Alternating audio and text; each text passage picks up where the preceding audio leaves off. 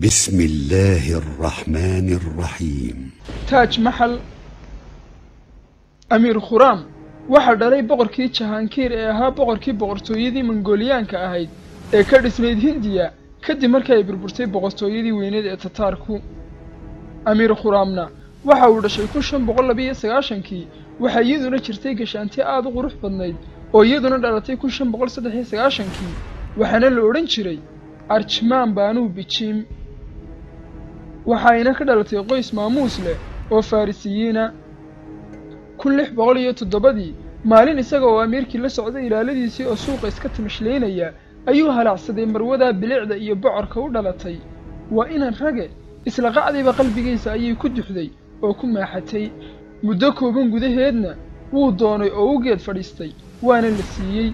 Balse waxa uu si rasmi ah u guursaday oo ula aqal galay labaatankii maarso kun lix boqol labiyo tobankii waa caado rag in ninku uu xaaskiisa magac yaroo u gaara u samaysto eh kolkii uu guursadayba waxa uu ula baxay mumtaas maxal oo ah jawharaddii qasriga. Waxa uuna la qabay iyada laba xaas oo kale balse iyada ayaa ugu mudnayd oo uu ka soo dhowaysan jiray kana jeclaa. Xaaskiisa mumtaas maxal waxa ay isku darsatay qurux iyo garaad badni. Waxayna ahayd la taliyaha uu arrin walba ula laabtay ninkeedu. Garab iyo gaashaan buuxana way u noqotay. Dagaal kasta iyo safar kasta oo uu galana way u raaci jirtay oo la rafiiqi jirtay amiir khuraam. Kun lix boqol iyo soddonkii ayuu noqday boqorkii boqortooyada mongooliyaanka ee ka dhisnayd hindiya waxa uuna la baxay shaah jahan. Kadib waxa ay qolo dowladda ka fallaagowday ka soo mudhay dusha diikaan oo ka tirsanayd boqortooyadiisa.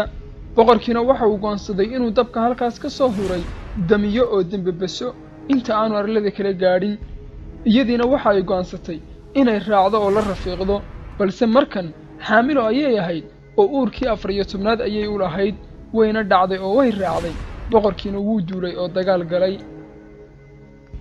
Iyada oo dagaalkii lagu jiro ayay lix iyo tobankii juun kun lix boqol koob iyo soddonkii qabatay fooshii wayna umushay oo ilaahay wuu kala keenay balse maalintii xigtay ee toddobiyo tobankii juun kun lix boqol koob iyo soddonkii ayay dareentay in seeftii malaggu haleeshay oo ku dhacday markii la arkay inay qal dhabaysana boqorkii ayaa loo baaqay.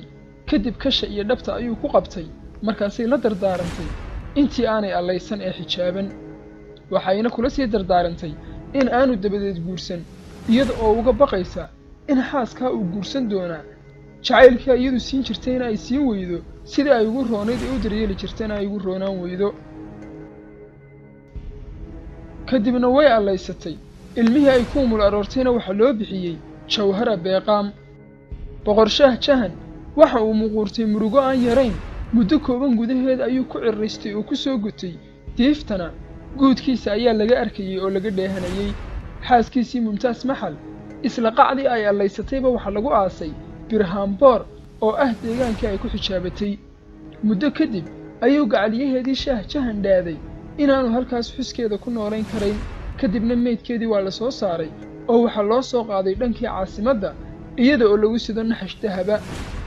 Waxaana la dhigay dhismo yar oo ku yaalla qarka webiga yaamuuna waxa uu dhaaday boqorkii inaanay halkaasi u qalmin ee uu u dhiso dhisme raad iyo sooyaal reeba oo aad u qiimo iyo qaayo badan. Waxaana halkaas ka dhashay dhismaha taariikhiga ah ee hindiya ku faanto ee la yidhaahdo taaj maxal kun lix boqol koob iyo soddonkii markii uu xilka qabtay boqorshaah jahan waxa uu wada laayey walaaladii isagoo uga tuhun qaba inay hadhow xilka kula loolamayaan balse kun lix boqol toddobiyo kontonkii wiil uu dhalay oo lo odhan jiray oorangsiib ayaa kaga daray oo inta uu colkii kiciyey aabbihii ku soo duulay.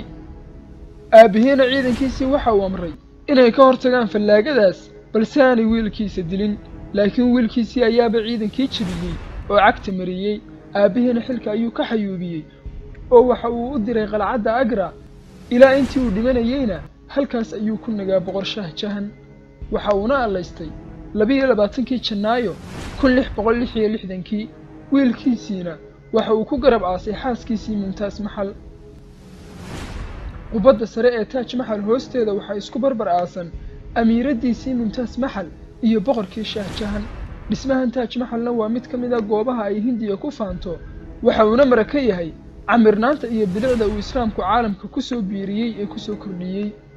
kun sagaal boqol saddex iyo siddeetankiina waxay si toosa yunesko ugu dartay goobaha raadraaca caalamiga waxaana hindisihiisa lahaa.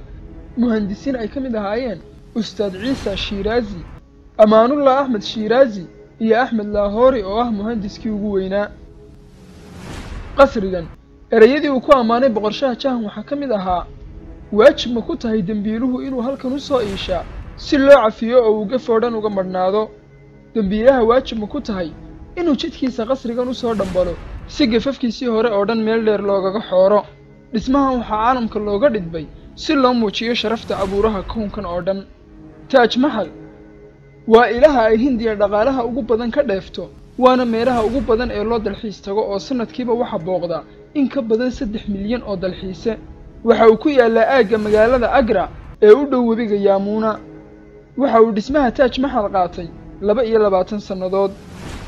Waxaa ka mid a dhacdooyinka taaj maxal laga soo tebiyo in boqorshaha jahan uu dhammaan dadkii ka qayb qaatay dhismahaas oo ku aadan labaatan kun oo ruux cukurrada gacmaha ka wada jaray si aanay dhismo kan oo kale ah adduunka uga dhisin ugana qayb qaadan.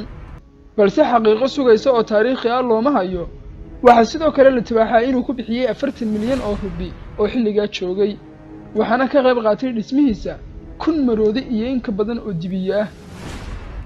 Qisadan taaj maxal waxa ay muujinaysaa macnaha uu leeyahay iyo mugga uu la eg yahay iyo qiimiga uu mudan yahay jacaylka dhabta ahi.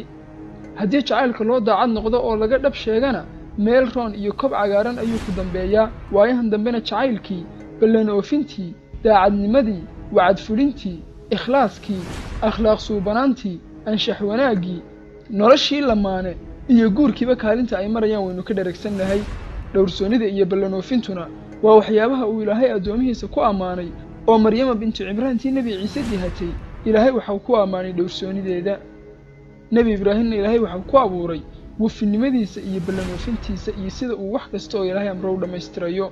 Sidaa awgeed jacaylkaaga dhabbada ugu suuban uguna maamuuska badan ee aad u maraysaa waa anshaxaaga oo aad bisho. Dhowrsoonidaada oo aad ku dadaasho daacadnimada bilaa khiyaanada iyo ballanka baxa ah. Haddii ay taasi dhacdana ilaahay samefalayaasha ajarkooda ma dayaco. Daawade wax kasta waxay ku wanaagsan yihiin siduu ilaahay nagu yidhi u mara. Haddii aynu ka baydhnana wadda khalli ayaynu maraynaa. Ee mar walba ku dadaal daacadnimadaada iyo dhowrsoonidaada iyo jacaylkaaga oo aad ka dhab sheegto.